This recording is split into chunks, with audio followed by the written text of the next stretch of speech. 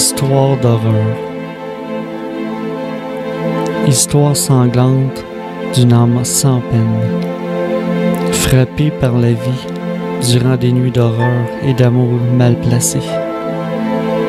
Survivre à des nuits d'enfer et des journées trop sombres, sans lumière ni lune, ensanglantées d'images en déchéance, en totale décadence, du jamais vu sur terre, ni enfer, les, é- ni en enfer, les éclairs et le tonnerre n'osent plus s'aventurer.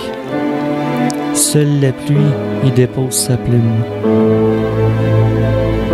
Seule délicatesse vivante de par ses fleurs du mal. L'empêche encore un temps soit peu de brûler vive.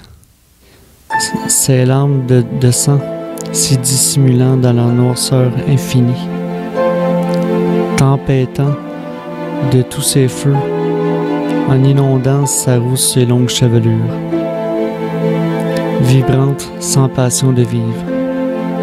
Sa survie ne la tient que par une mort certaine, la sienne.